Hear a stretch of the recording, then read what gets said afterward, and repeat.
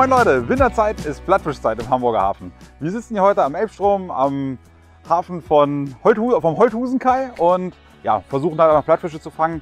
Wir haben gerade auflaufendes Wasser. Unsere Brandungsrouten haben wir jetzt in der Mitte vom Fahrwasser geschmissen, angeln dort mit Wattwürmern. Und wie das im Einzelnen ganz genau funktioniert, das zeige ich euch in diesem Video. Die Montage ist sehr simpel aufgebaut. Ich habe jetzt eine gängige Brandungsroute in der Länge 4,20 Meter, jeden Wurfgewicht so bis 200 Gramm. Hat aber eine sehr feine und sensible Spitze. Das ist halt auch gerade so, dass man beim Plattfischangeln die Bisse halt auch ganz gut erkennen kann. Gerade haben wir ein bisschen, wenig, äh, ein bisschen viel Strömung, da erkennt man das natürlich nicht so gut. Das Vorfach ist recht einfach aufgebaut. Ich habe einfach so eine Durchläufermontage. Die ist halt frei beweglich halt auf der, auf der Schnur. Hier habe ich einen kleinen Schlauch, der ist dafür da, dass ich nicht so leicht in mein Blei reinwickeln kann. Und danach kommt halt einfach der Nachläufer, der hat eine Länge bis knapp über einen Meter. Wie viele Angler kennen das, im Strom muss man natürlich ein langes Vorfach verwenden, im See ein kurzes Vorfach und so ist das hier auch an der Elbe.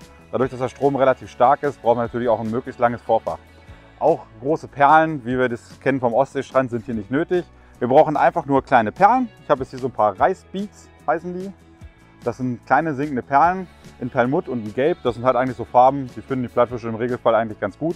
Und als Köder verwende ich ganz klassisch Wattwürmer. Eigentlich könnte ich auch eine Ködernadel verwenden, aber es reicht auch mit den Fingern. Einfach den Wurm hier vorne an dem Kopf eingepiekst, über den Haken gezogen und hier hinten am Ende des Wurms kommt er wieder drauf. Ich habe jetzt hier ein paar Meerwürmer drauf. Die Fische beißen gerade nicht so gut. Ich versuche mal mit ein bisschen mehr Duft die Plattfische zu meinem Köder zu locken und ja, vielleicht klappt ja. Ich schaue mal und schmeiß das mal rein jetzt.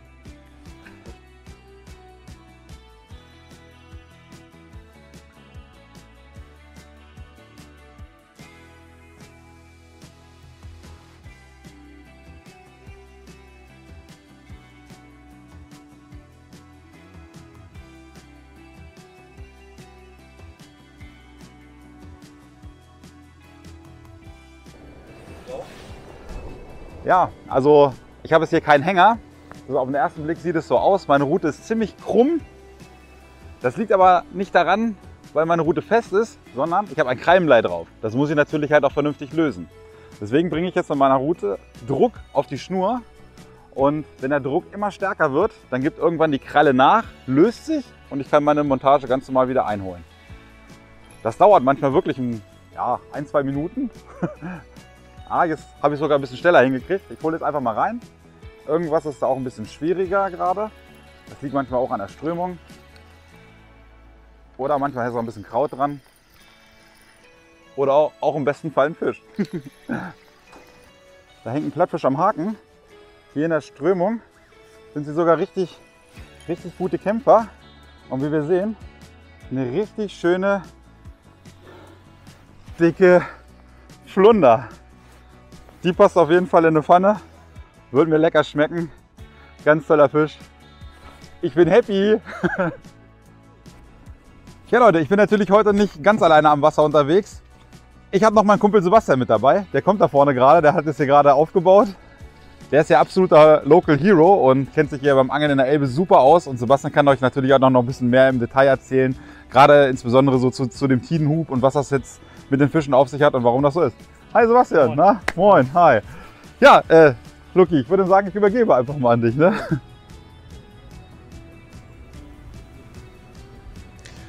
Das ist ja nicht hektisches Angeln hier bei der Butt. Wenn man hier einen Biss hat, dann beißt er zwar, aber der legt sich auch schnell wieder hin.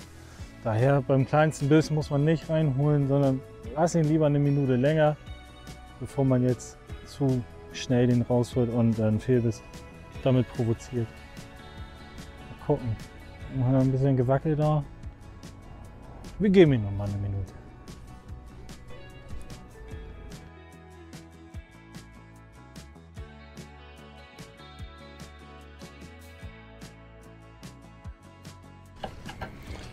So, da kommt eine mit. Jo.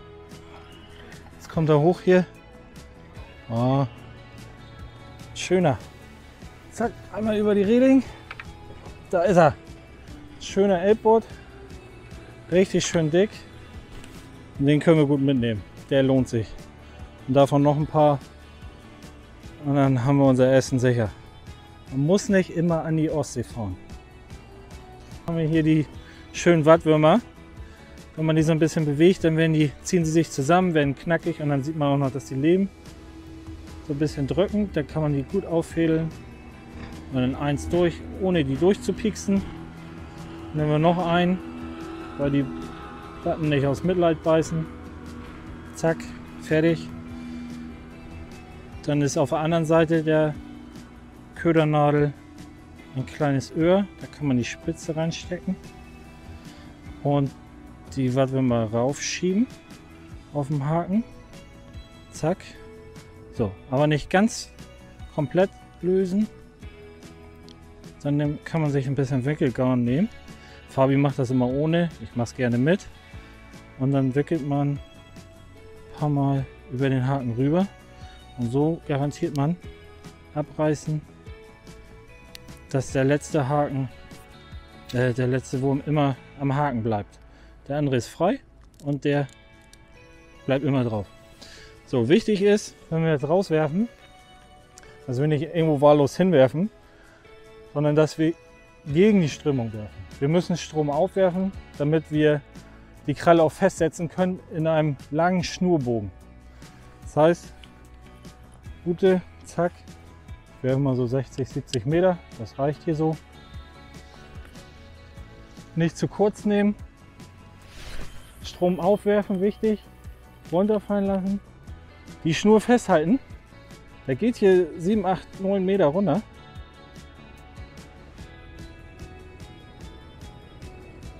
So, jetzt ist er unten. Und jetzt noch ein Stückchen Schnur geben. 4, 5 Meter. So dass der Bogen sich hinlegen kann und die Kralle sich jetzt festkrallt. Wenn ich die stramm ziehen würde, dann würde er sofort wieder sich lösen können, weil die Kralle sich nicht festziehen kann in den Boden. So, Rudel rein hier, aufpassen, gut festmachen, sonst kann ich auch einen Abflug machen. So, das war's schon. Und jetzt warten wir auf den Biss.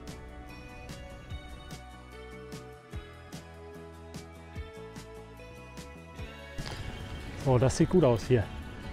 Ich glaube, hier ist ein richtig guter dran. Oha. Na, Jetzt kommt er hoch. Oh. Ein schöner. Achtung. Schwupp. Zack. Da ist der nächste Bildboot. Auch so ein schön dicker wieder. Passt genau in die Pfanne. Hö, hö, hö. Schönes Teil.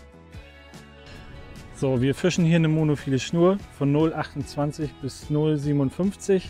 Hat den Vorteil, ist recht dünn, man kann damit gut werfen. Kein Knoten in der Schnur, äh, alle 20 Meter ist die Farbe abwechselnd.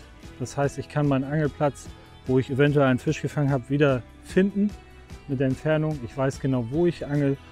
Und ähm, das ist enorm wichtig, wenn man viel Strömung hat und Wellengang und so, dann federt die ein bisschen ab. Wenn ich jetzt eine geflochtene Schnur nehme, dann kann das sein, dass darauf, dass sie keine Dehnung hat, sich schneller das Blei lösen kann. Und das wollen wir hier im Hamburger Hafen vermeiden.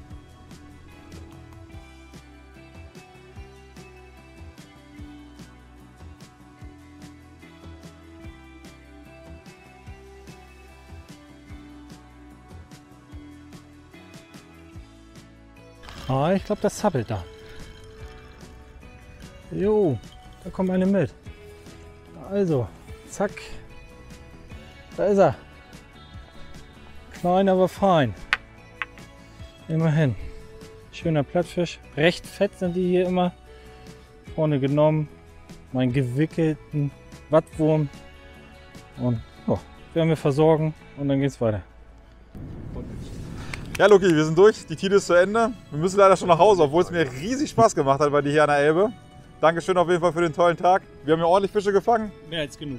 Ja, denke ich auch schon. Mit unseren Nachläufermontagen. Da haben wir gegenüber den anderen Anglern ganz gut ausgesehen eigentlich. Ne? Die haben auch ihre Fische gefangen. Wir haben auch ganz gut Fische gefangen. Vielleicht sogar den einen oder anderen mehr. Also es hat auf jeden Fall gut funktioniert. Und ja, ich hoffe, euch hat das gefallen, das Video. Und das war so ist Plattfischangeln in Hamburg im Hafen am Holthusenkai. Alles klar. Ja. Macht's gut. Bis dahin. Ciao, ciao. ciao.